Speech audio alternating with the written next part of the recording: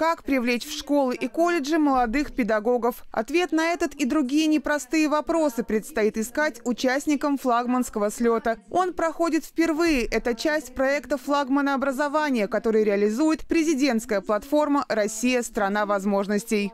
Флагманский слет – это такая площадка для творчества, для инициативы. Это э, прекрасная возможность проявить свои способности, свои таланты, э, предложить что-то новаторское. И не только предложить, но и попробовать э, реализовать на практике, то есть внести свой реальный вклад в развитие системы образования Владимирской области. Среди участников слета студенты вузов и колледжей со всей области. Есть и те, кто уже пробовал себя себя в качестве педагога. Юлия Курицына работает учителем географии. В своей школе девушка создала ботанический сад по собственному дизайн-проекту.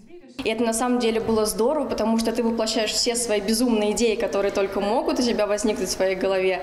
И это очень здорово. И, конечно, это поощряется. Да, у меня получилось. Я прям горжусь этим, то, что я вовлекла много детей по поводу именно географии. У меня много ОГЭ сдает по географии, и очень хорошие результаты на пробников, и мне это очень нравится.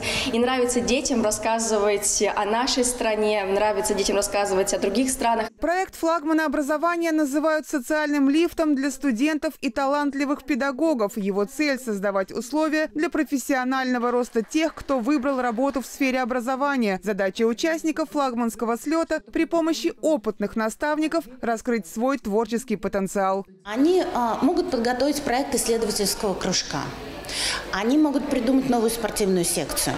Они могут э, придумать какую-то программу дополнительного образования для развития школьных музеев или школьных театров. Ну и вообще, если честно, сейчас у студентов есть возможность показать себя будущим работодателем.